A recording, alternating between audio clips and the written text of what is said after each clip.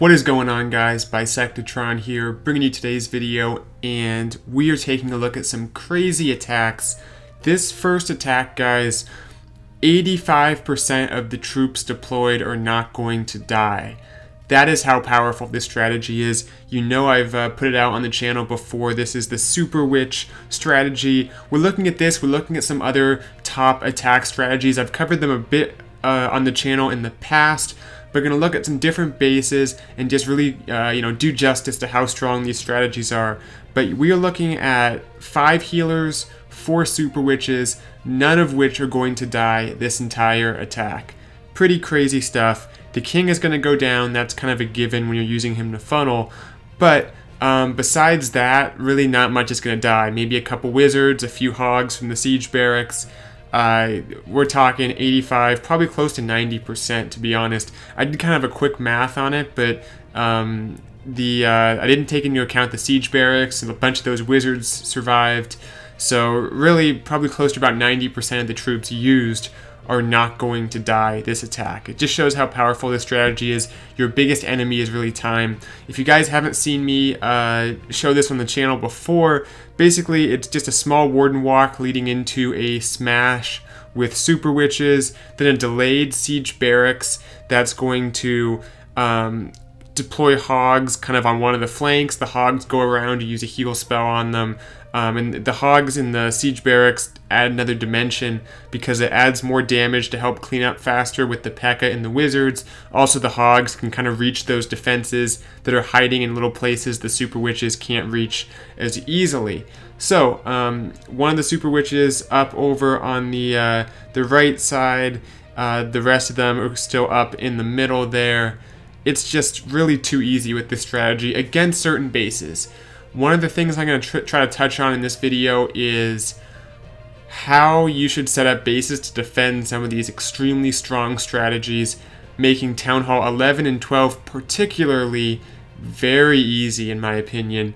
Uh, Town Hall 13 we're going to take a look at briefly, but it is um, it is not as as easy I feel as these other two Town Hall levels in today's video. Uh, let's go back down to Town Hall 11, then we'll work our way up uh, in the next few attacks.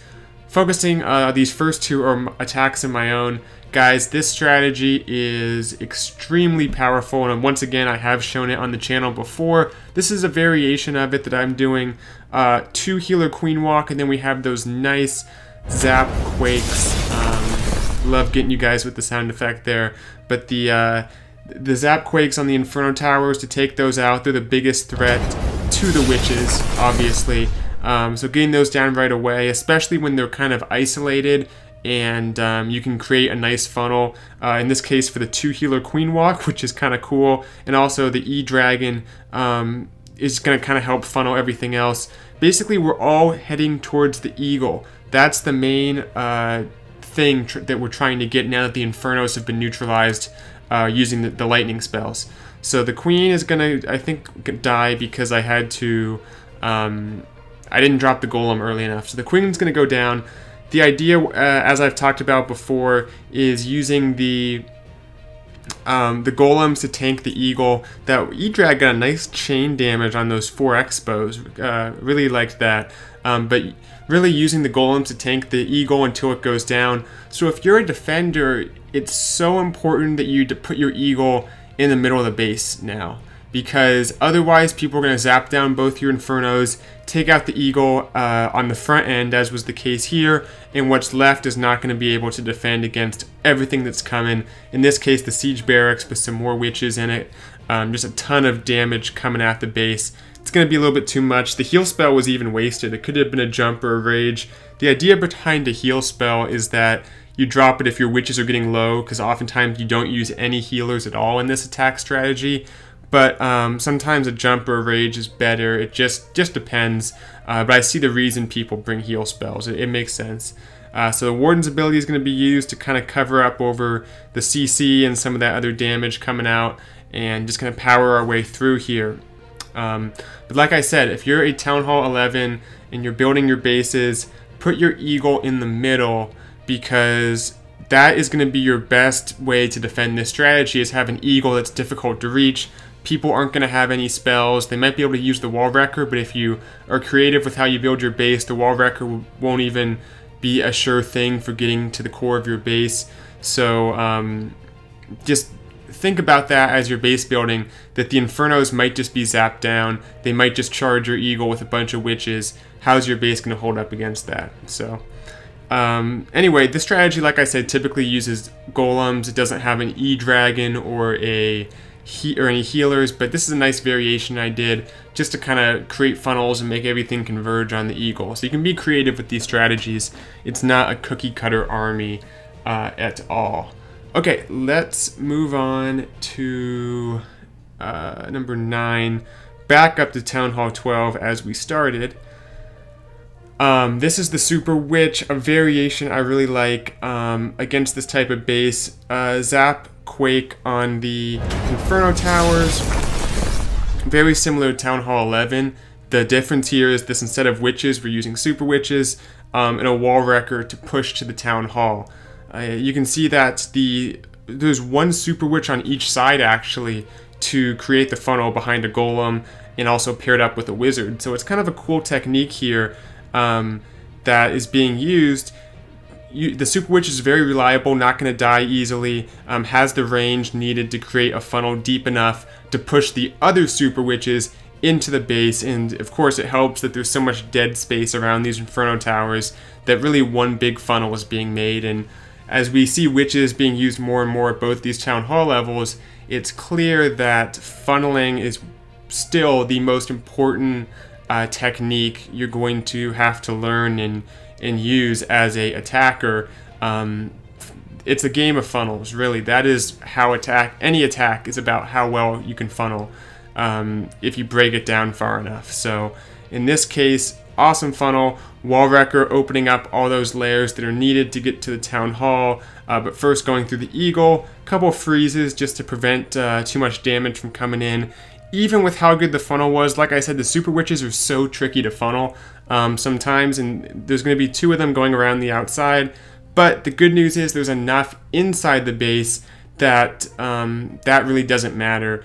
Uh, the Town Hall will still go down with the help of uh, the troops that are inside, including Ice Golem Pekka from the CC, and sometimes it actually helps a little bit to have one or two Super Witches on the outside, um, which will allow the base to be taken out quicker uh, just because you can often run out of time with this strategy. And um, having stuff more spread out, having a few troops on the outside, is going to take out the base uh, that much quicker. So we will fast forward because there is a bit of cleanup to do. Still has the Queen's ability. Um, this is, I think, one of the best variations of the Super Witch. Uh, right up there next to the, the strategy that I showed at the beginning, which is kind of my go-to.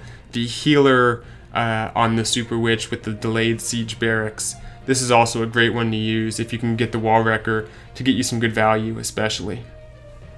Alright, so let's take a look at Town Hall 13. Don't want to leave you guys without one of those. Um, we are kind of departing from the Witch here to take a look at just another attack that's using this lightning spell that is really just so versatile with all these different attack strategies. And in this case, it's not like a huge investment, but taking out um, a few things. First of all, I mean, there's a there's a couple reasons why this is such a good use of it. Um, getting several very important defensive buildings, including the Inferno Tower and the Scatter Shot, that alone is good value. Plus a good funnel value that's going to help everything kind of push towards the Eagle and not um, get distracted coming out towards this compartment. So it's also a funnel, and it's also going to help the Warden walk because um, all he has to do is take out a couple layers. Um, so really, as I've said in videos in the past, everything kind of builds on itself uh, in these these attacks that are successful. You tend to notice that you know the first uh, operation leads into the next one. Everything sets up that next step of the attack. So the lightning spells set up the warden to set up the main push uh, into the base here, and then that's going to set up a nice use of the royal champion to kind of come in with the siege barracks and um, help out those hogs. Uh, great combination, siege barracks of hogs plus royal champion. Uh, that that is a very tried and true way to uh, take out a big portion of a base. If you have a heal spell, it's even better. No heal spell was allotted uh, here, but still going to get good value before all those hogs get blown up. So good stuff there. Everything pushing through, and um, a ton of troops left up on the back end to kind of help out as the uh, um, Royal Champion kind of comes around the uh, right side of the screen here. So that I mean, there it is, guys. These strategies are kind of what's dominating at these Town Hall levels, especially Town Hall 11, Town Hall 12. Uh, we're seeing the witches and super witches taking over. I know I've covered it in a video or two in the past, but I wanted to put one more out there, really showing how powerful this is because I feel like um, it's still being underused compared to how uh, good it is for the current state of the game and how much people should be using it. But um, in future videos, I'll try to get back to some more base building tips for you guys and cover some other strategies that are working well. Had to say my piece, show a few more of these uh, awesome attacks. But thanks for watching. Hope you enjoyed the video and um, be sure to uh, check out the Patreon if you want to uh, see some, uh, ha have a chance to get some bases that can hopefully defend these strategies. Something I've been working on lately is how are we going to defend all these powerful strategies. There are ways, which I've covered a little bit in this video. Um, when it comes to Town Hall 12, it's uh, it's probably even trickier, but you got to make it difficult to path into the core of your base with Super Witches or another type of spam attack um, by really making the core not have a whole lot of value in it um, in a nutshell. But that's all I'm going to say in this video. Thanks for watching. I'll see y'all next time. Thanks for watching this video. If you enjoy my content, consider supporting the channel by entering my Creator Boost code, BISECT, in the Settings tab of your game, and keep in mind it occasionally resets and must be re-entered. Click or tap for another video and be sure to subscribe. See you all next time. Bisectatron out.